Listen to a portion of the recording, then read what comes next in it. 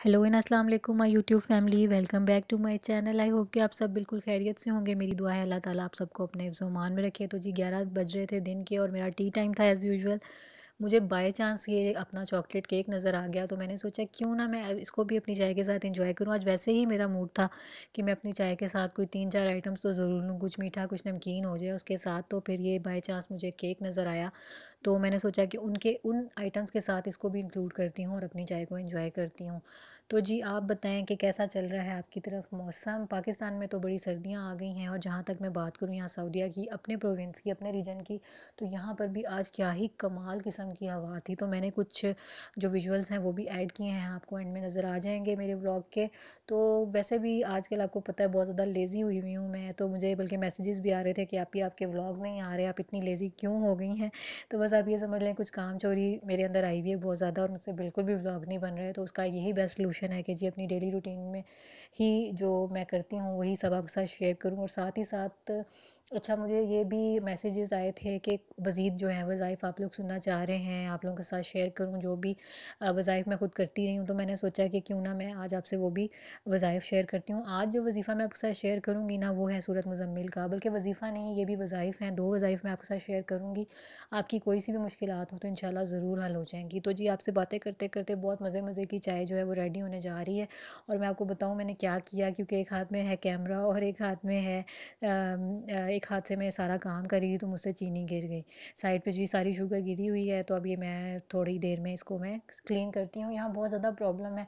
सऊदिया में हमें इतना ज़्यादा ख्याल रखना पड़ता है। जैसे ही थोड़ी सी भी समझ लें कि कुछ किचन में मैस हो जाए, रूम में हो जाए तो साथ ही छोटे वाले जो कॉकरोचेज़ हैं ना, वो यहाँ पर आ जाते हैं और अस्तगफिरुल्लाह, वो क्या चीज़ मैं आपको बता रही हूँ। मुझे इससे तो बिल्कुल इस वक्त सोचा भी नहीं जा रहा, जैसे वो फैलते हैं, आपकी सोच होगी, घर भर जाता है एक मिनट में। इसलिए बेहतर यही होता है कि आप जितनी ज़्यादा अपनी घर को क्लीन रख सकते हैं, जी रखें। और जो डिसइनफेक्ट्स हैं वो सारे यूज़ करें। तो ये देखें जी, चाय हो रही है रेडी मग बहुत ज़्यादा ह्यूज सा इसका मेरे पास मग है तो मैंने सोचा इसका हाफ़ जो इसमें क्वांटिटी है चाय की वही काफ़ी होगी। तो बस चाय पी के मैं थोड़ा फ्रेश फ़ील करने लगती हूँ और मैं थोड़ा काम करने के काबिल भी हो जाती हूँ। बिल्कुल भी दिल नहीं कर रहा होता। अगर मैं आपको अपनी आज की रूटीन बताऊँ ना तो आज मुझे जाना होगा कुछ शॉपिंग के लिए भी। तो सोचा कि सेंटर पॉइंट पर सेल लगी है तो चलें, उसको भी चेक कर लेते हैं। ये कुछ मेरे पास नमक पारे रखे हुए थे स्वीट पफ भी थे। और बिस्किट्स भी थे तो मैंने कहा कि चलिए ये भी साथ साथ अपनी चाय में, के साथ में इंजॉय करती हूँ। अच्छा यहाँ के मौसम की मैं आपको बात कर रही थी तो यहाँ पर एकदम से मौसम काफ़ी ज़्यादा ठंडा हुआ है, बहुत अच्छी बहुत तेज़ और ठंडी हवा आज यहाँ पर चल रही, बल्कि ऐसा था कि इवन कल तक भी यहाँ पर लोग एसी ऑन कर रहे थे लेकिन अब ऐसा हुआ है कि आज के दिन में एसी की बिल्कुल ज़रूरत नहीं है। अच्छा इस सिटी की कुछ अजीब सी बात है यहाँ पर कि फ़ैन्स नहीं लगे हुए, यानी सीलिंग फ़ैन्स नहीं लगे हुए। अगर आप फ़ैन ऑन करना चाहते हैं तो फिर आपको पेडस्टल फ़ैन लेना पड़ेगा या फिर आप ब्रैकेट या वॉल पे जो फ़ैन लगता है आप वो यूज़ कर सकते हैं, ब्रैकेट फ़ैन। और उससे आप यहाँ पर एडजस्ट कर सकते हैं, लेकिन सीलिंग फ़ैन्स यहाँ नहीं आई डोंट नो वाई ऐसा क्यों है, लेकिन ये कि ये हर घर का ही यहाँ पर मसला है। कि वायरिंग हुई नहीं हुई कि आप कहें कि आप सीलिंग फ़ैन्स यूज़ कर लें तो ये हैं मेरे स्वीट पफ़ अच्छा तो मैं आपको अपनी रूटीन के बारे में बता रही थी कि अभी ये टी टाइम कर लेने के बाद इरादा है जी, जाके सेंटर पॉइंट की सेल चेक की जाए, क्योंकि बहुत ज़्यादा उसकी एडवर्टीज़मेंट आ रही थी तो मैंने सोचा कि चलो उसको भी एक्सप्लोर करते हैं, देखते हैं कि वहाँ पर क्या क्या ऐसा है जो कि ख़रीदा जा सकता है। तो इसके बाद जाना है पार्क में भी और अच्छी अच्छी ठंडी ठंडी जो हवाएँ हैं उनको इन्जॉय भी करना है। तो आज जो मैं आपसे वजीफ़ा शेयर करने जा रही हूँ ना, वो है सूरत मुजम्मिल उसमें से एक वजीफ़ा जो है मैं पहले आपको बता देती हूँ, दिन के किसी भी वक्त में आप कर सकते हैं। तो उसमें आपने करना क्या है? अव्वल, आखिर तीन मरतबा दरुद पाक, यानी दरुद इब्राहिमी ही पढ़ें आप, और साथ ही साथ बीच में आपने सात मरतबा सूरत मुजम्मिल पढ़नी है। अपने उस मकसद को जहन में रख के जो आपको बज़ाहिर बिल्कुल इम्पॉसिबल नज़र आता हो, आप उसके लिए ख़ुद को बेबस महसूस करते हो, और सबसे बड़ी बात मैं आपको बता दूँ कि ये अगर आप वजीफ़े को 11 दिन तक कंटिन्यू करते हैं तो इन उन ग्यारह दिन के अंदर अंदर आपकी मुराद पूरी हो जाएगी। सूरत मुजम्मिल के बारे में ये कहा जाता है कि जी ये इंसानों से कहीं ज़्यादा जो जिन्नात हैं, उनके वो इसका वेट करते हैं। यानी बहुत ज़्यादा तिलावत जो है वो जिन्नात करते हैं। तो जी, आपसे बातें करते करते ये देखें जी, पहुँच गए सेंटर पॉइंट में। यहाँ पर ये सारी, बज़ाहिर ये था, एडवर्टिज़मेंट ये थी कि जी, सेल लगी हुई है, लेकिन ऐसा नहीं हुआ।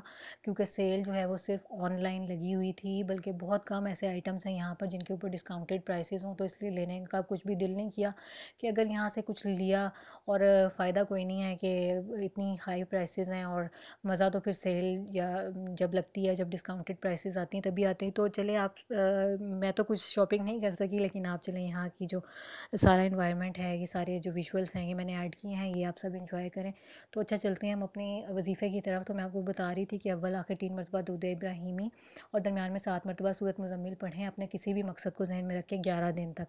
और ये भी मैं आपको बता रही थी कि जो जन्नात हैं उनकी तिलावत बहुत ज़्यादा है सूरत मुजम्मिल को लेकर। वो बहुत ज़्यादा इस सूरत के साथ उनकी वाबस्तगी है। वैसे तो लफ्ज़ जो है वो शिफा है।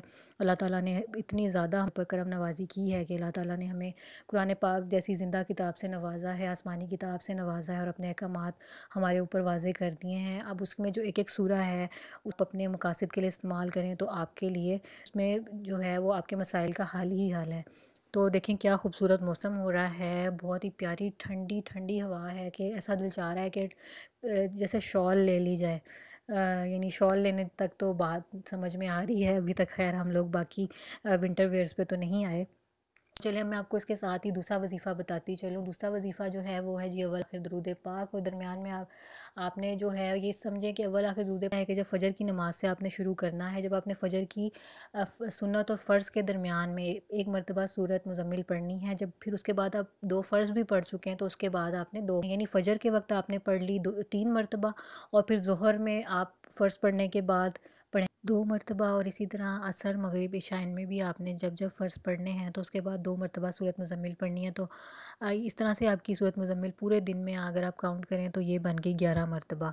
और जो आपने इशा के वक्त आखिरी दो मरतबा पढ़ी तो उसके बाद आपने जो आखिरी वाला दरूद इब्राहिमी है, वो पढ़ना है। इसी तरीके से आपने इसको, इस रूटीन को कंटिन्यू करना है तीन दिन के लिए कि फ़जर के वक्त से आपने सूरत मुजम्मिल स्टार्ट की और आपने फिर इसको इशा की नमाज़ के वक्त जाके क्लोज़ कर दिया। यानी तमाम नमाज़ों में आपने फ़र्ज़ के बाद दो मरतबा तो पढ़ना ही है, लेकिन इजाफ़ी ये कि फ़जर की नमाज़ में आपने फ़जर की सुन्नत पढ़ने के बाद एक मरतबा पढ़ना है और फ़र्ज़ पढ़ने के बाद दो मरतबा, सिर्फ़ फ़जर में ये तीन मरतबा है, बाकी हर नमाज़ में ये फ़र्ज़ के बाद दो मरतबा पढ़नी है। टोटल दिन में ग्यारह मरतबा और अवल आखिर एक एक मरतबा दरूद पाक और ये तीन दिन का आपने वजीफ़ा करना है। तो इन आपके जो भी नामुमकिन मसाइल हैं, जो आपकी ज़िंदगी के बहुत ज़्यादा बड़े बड़े मसले हैं, उनको जहन में रखें, जो आपको नामुमकिन लगता हो वो जहन में रखें। आपकी शादी का मसला है, शोहर, बीवी की नाचाकी का मसला है, रिस्क के मसाइल हैं, रिस्क की बंदिश है, औलाद की बंदिश है, इसके अलावा आपके ऊपर कोई झूठे मुकदमात हो गए हैं या आपके ऊपर कोई, आपकी इज़्ज़त के ऊपर उंगलियाँ उठा रहा है, आप पे ज़बरदस्ती के इल्ज़ाम लगाए जा रहे हैं, कोई भी दुनिया का मसला ऐसा है जिसने आपकी ज़िंदगी जीरन कर दी है तो उसके लिए आप ये वजीफ़ा तीन दिन के लिए करें इन शाला आपकी मुराद ज़रूर पूरी होगी तो आई होप कि आपको आज की वीडियो अच्छी लगी होगी, वीडियो अच्छी लगी हो तो ज़रूर लाइक करें और चैनल को सब्सक्राइब करना बिल्कुल ना भूलें, अपने फ्रेंड्स और फैमिली मेंबर्स के साथ शेयर करें। बेल आइकन को हिट कर दें ताकि मेरी लेटेस्ट वीडियोस के नोटिफिकेशंस आपके पास आते रहें। और मैं बहुत ज़्यादा थैंकफुल हूँ कि आप लोगों ने मेरी लास्ट वीडियो जो सूर्य यासिन के जो वज़ाइफ थे, उनको बहुत ज़्यादा पसंद किया और मुझे मैसेजेस भी किए कि मैं आपके साथ मज़ीद वज़ाइफ शेयर करूँ। तो इन मैं मज़ीद वज़ाइफ लेके आपके साथ आती रहूँगी। बाकी रेसिपीज़ और टेक्नोलॉजी से रिलेटेड और बाकी भी जो जितने भी मेरी ट्रैवलिंग और बाकी जो व्लॉग्स हैं वो भी साथ ही साथ आते रहेंगे। तो मुझे अपनी दुआओं में याद रखिएगा और मुझे सजेशंस देते रहिएगा। Thanks for watching